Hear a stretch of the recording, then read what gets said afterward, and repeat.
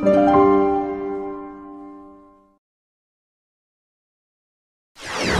can smell your blood. I sense that you are here. I am strong. That one, and that one. I defeated them all. The ones who you wanted to defeat, I have defeated. Do you accept it? I cannot deny you. However, I do not then accept what are you going to do now? You want to fight me? Defeat me? How can you even think you can do that? Because I'm not going to fight with you. Die! You are a coward! If you're so easily scared, then you are mine!